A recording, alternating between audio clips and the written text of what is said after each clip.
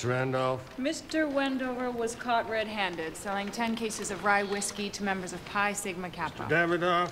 Your Honor, my hmm. client has no knowledge of... yes. I want you both up here, now.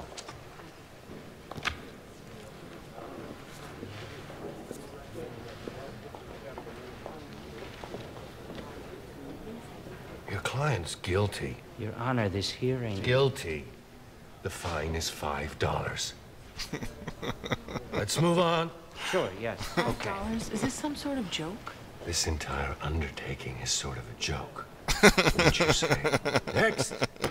Docket number US 13705, United States versus Enoch Malachi Thompson, violation of Title II, Section 3 of the Volstead Act. Step up, please.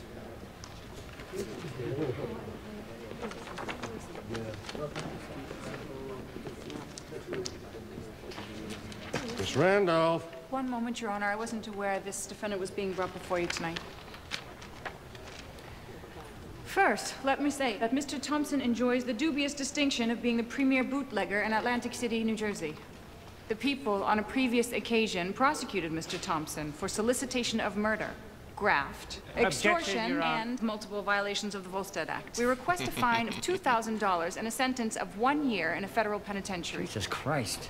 Your Honor, my client is being charged with possessing one pint of liquor. Five dollars. Your Honor, to allow this man to Miss simply... Randolph, I sympathize with your desire to bring purpose to your life.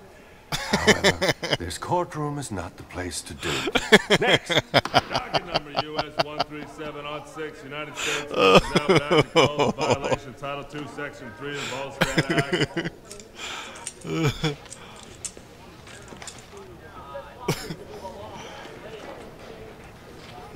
Can you break a hundred?